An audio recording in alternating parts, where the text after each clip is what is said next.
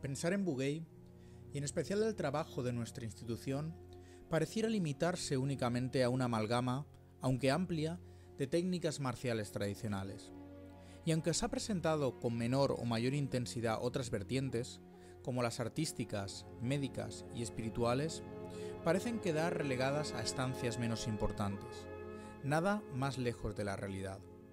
Sin embargo, todas estas facetas tienen equidad e importancia, pues son parte de algo mayor, más importante.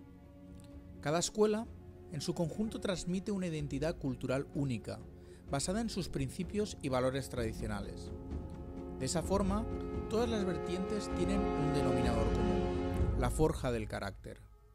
Hoy en día vivimos en tiempos complejos para las artes y culturas clásicas, pues aunque vivimos en una era de la comunicación y de Internet, en la que parece que tenemos acceso a todo, y en ese sentido parece un escenario excelente para mantener vivos los legados clásicos que parecían condenados a extinguirse, el hombre del siglo XXI, por sus hábitos, se encuentra en condiciones muy adversas para la herencia de legados centenarios. Las costumbres modernas no dan tregua al comprometido, y aquel que se siente atraído por seguir una vía tradicional encuentra pronto obstáculos disfrazados de alternativas seductoras, que se ofrecen más rápidas, más simples, más fáciles, etc. El mundo de hoy, más abierto, está plagado de soñadores, que cerraron sus aspiraciones, conjunto con el compromiso y la fe en conseguirlas, en un cajón oscuro y tiraron la llave, creyendo que el sueño podía hacerse realidad solo soñando despiertos.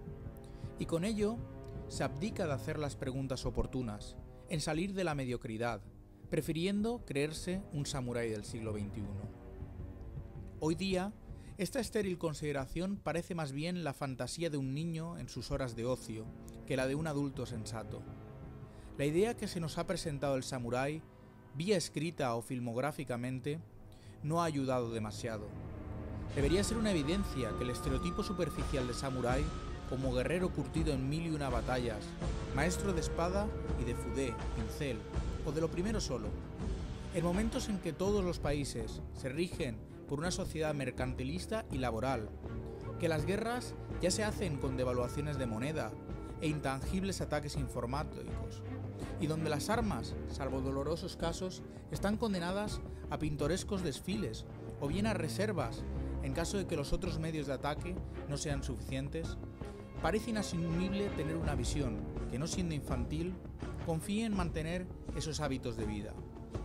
Por lo tradicionales que seamos, por tradicionalistas que tratemos de mantener viva la llama, salvo en casos de demostración, vestiremos nuestro yoroi, y en ningún caso daremos muerte a aquel que osa cruzar nuestro camino, o concluiremos nuestro paso material con un seppuku cuando hayamos fallado.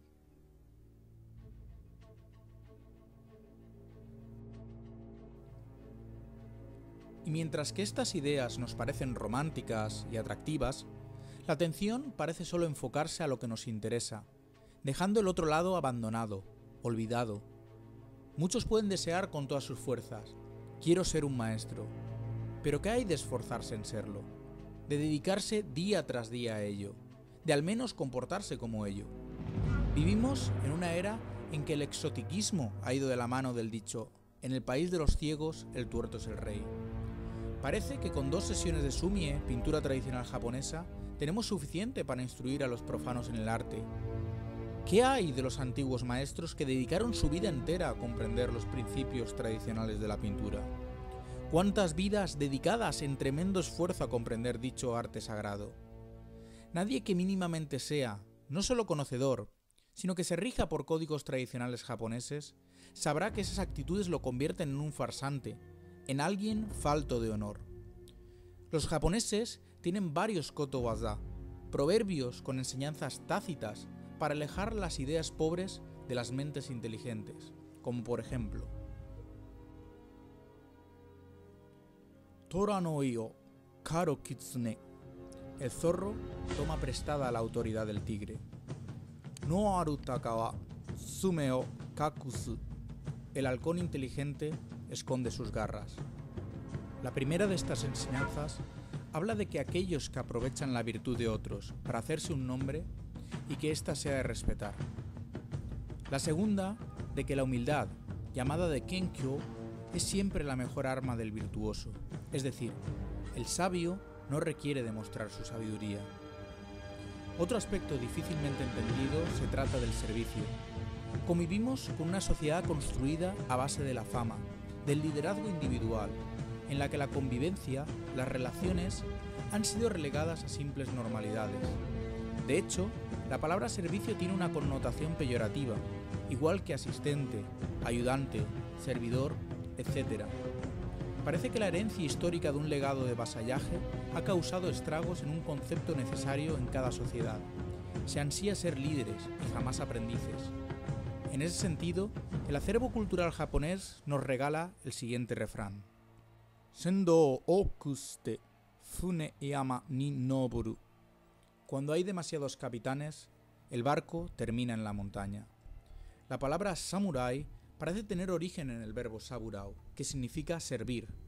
A ojos occidentales, dicha expresión inicialmente puede suponer una incoherencia desde la perspectiva de que la clase samurái era una casta privilegiada del Japón feudal, sobre todo en comparación a las grandes masas de campesinos que vivían en régimen de vasallaje. Sin embargo, su, ante todo, fidelidad a su señor les hacía siervos de ellos. El servicio es uno de los pilares del desarrollo humano. Más en particular, podríamos concluir que el servicio, unido a estudio y meditación, autoobservación, componen las claves de dicho desarrollo. Pero nuestro gran hándicap de esta era es que una vez que hemos entendido ese servicio, esa actividad que hacemos a diario, la hermosa tarea de servir a nuestros clientes, nuestros jefes, nuestros amigos y familiares, debemos transgredir nuestra costumbre, romper con el paradigma del intercambio. Si analizamos nuestras actividades, es difícil encontrar alguna que no se mueva por una razón mercantilista. Mercantilista en el sentido de intercambio. El intercambio es, por ello, uno de los paradigmas de la sociedad moderna. No obstante, el espíritu samurái inmanente nos traslada a un posicionamiento ulterior. El samurái servía a su señor. ¿Lo hacía por sentirse mejor? No, no tendría ningún sentido. Pero aquí podemos tendernos una trampa lógica. En la sociedad tradicional japonesa, los valores, y principalmente el carácter, el honor de aquel que fuera realmente consecuente con su servidumbre, no recibía nada a cambio, pues no esperaba recibir nada a cambio. En muchos casos, lo que recibían tras su servicio era una muerte ritualística dolorosa, que afrontaban con decisión y sin temblores. Ahí ya podemos encontrar la solución, pues lo que nos diferencia, más allá de una irrelevancia del sentido vital, era un carácter que les permitía servir con honor sin esperar nada a cambio. Servir, además de que siempre retroalimenta, es bello, sobre todo cuando se hace de forma desinteresada, cual consecuencia del karma, porque implica que participamos de un importante rol en los acontecimientos. Desde una perspectiva evolucionista, no hay nada más satisfactorio que ser partícipe de un principio divino de evolución, pues es el estancamiento y no la lentitud lo que debemos temer. Y también, fuera de ella, nos aporta la mejora de lo que nos rodea. Servir no es debilitar, ni sustituir, ni tampoco condenar a ser servidos. Servir es contribuir, enriquecer, sinergizar y sintonizar. Servir tampoco se reduce a ayudar en sentido estricto, pues ayudar existen muchas formas de hacerlo, y a veces el servicio es no hacer nada. El Bugei es un camino de servicio, pues su herencia samurái nos remite y nos incita a servir fielmente como el samurái lo hacía hace siglos atrás. Y esa era su verdadera condición, no la de arrancar amplias inclinaciones de los transeúntes a nuestro paso.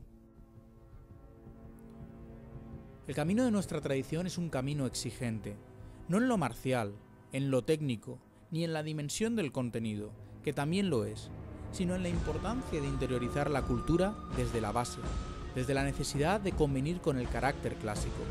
El carácter, llamado de Seikaku, fue también el punto fundamental de la formación de los discípulos en el pasado. El aspirante siempre debía pasar duras pruebas, conocidas dentro del Kyudoshin, el maestro hacía que el alumno se pusiera a prueba a sí mismo, valorara la fuerza de su deseo, de la perseverancia en el camino y la interiorización de éste. Todo maestro sabe que sin eso cualquier tarea fracasará. Tras ello, la perseverancia, Keizoku, siempre será una herramienta imprescindible. Esta nos mantiene en la senda, en la visión, en la acción correcta. El pueblo nipón culturalmente tiene muy arraigada esta idea y apenas tenemos que conocer algunos de sus aforismos culturales. Ishinoe ni mo sannen, permanecer sobre la roca tres años. Nana korobia oki, si caes siete veces, levántate ocho. Sen o ishoge, si encuentras algo bueno, hazlo. Nito o mono wa itomoezu, aquel que consigue dos conejos no atrapa ninguno. Mago Kuro, es decir, ser de corazón honesto, es otra expresión habitual que retrata la importancia de la forja del carácter en las escuelas tradicionales. Desgraciadamente, toda organización moderna está plagada de personas con intereses, agendas ocultas.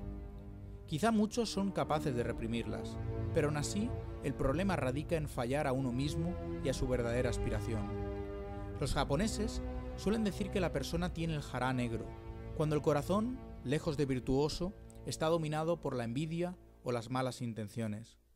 Los maestros de Haragei llamaban de ukimono, personas flotantes, aquellos que nada quieren de ellos mismos, sino que picotean para en la diversidad parecer sabiondos. Desgraciadamente, no saben que aunque toparan con la mayor de las verdades, jamás la percibirían. A tenor de esta temática, citamos algunos dichos populares. Inonaka no kawasu taikai o shirazu. La rana dentro del pozo no conoce el gran océano. Kyo mite morio minai. Los árboles no dejan ver el bosque. La gran dificultad reside principalmente en algo muy simple, actuar bien. No importan los trasfondos, las razones, los obstáculos o las dificultades. Nunca se pierde nada por actuar bien, y eso es siempre lo más difícil, pues vivimos en una época en la que parece que todo es prescindible, de usar y tirar, y así con las personas y las relaciones, pero no se puede extrapolar en ningún caso a la relación maestro-alumno. Los maestros apenas pueden confiar en quien de verdad es valedor por motivos propios, y en ese sentido dicen Osumitsuki o Ataeru, que quiere decir marcar algo con tinta, más explícitamente poner la mano en el fuego, sellar a alguien, es por ello que apenas los que reciben un documento tradicional de su maestro y no un certificado son garantes de la confianza de éste. Sin embargo, especialmente estos tienen que ser vigilantes de su carácter, pues el refranero popular japonés nos advierte.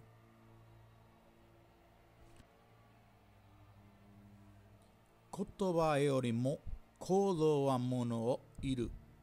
Son tus actos los que hablan por ti y no tus palabras. Akui wa senri o hasiru. Las malas acciones recorren mil ri. Ari no ana kara tsutsumi mo kuzureru. Un dique se arruina hasta con un agujero de hormiga.